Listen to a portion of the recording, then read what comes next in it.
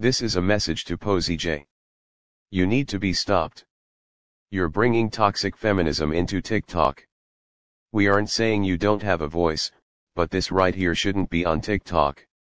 Take a look. I hate when men go.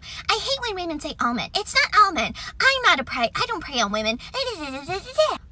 Jeff? Because I don't really remember you saying anything when your friend Jimmy saw a hot girl across the room at the frat party and said he wanted to plow her with alcohol and then take her upstairs and give her a good time. Yeah, I don't really remember you being much of a feminist last night. Here's a bit more footage. We have to say all men until all men stop raping women, stop drugging women, so women can walk down the street at night and not think they're gonna get jumped. Until all men stop policing women's bodies, we need to hold all men accountable. You can obviously see she is accusing all men of sexually assaulting, or harassing women.